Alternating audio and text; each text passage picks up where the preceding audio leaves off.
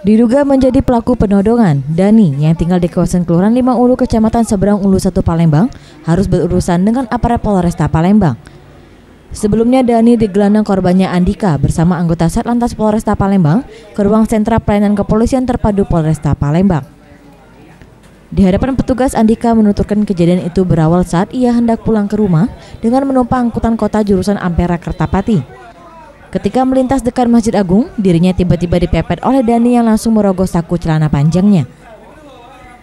Bribka Doni mengatakan, penangkapan berawal dari laporan korban yang mengaku sudah ditodong. Usai mendapati laporan, petugas langsung memburu sopir mobil tersebut kemudian mengamankannya.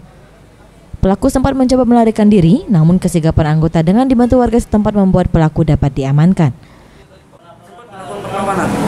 Jadi melakukan perlawanan, berusaha untuk melarikan diri dari pos ini. Kemudian kita lakukan lagi, ternyata ada dari dari samping maupun dari security maupun masyarakat yang lain. Jadi pas tidak terlalu jauh kita kembali. Angkot apa tadi?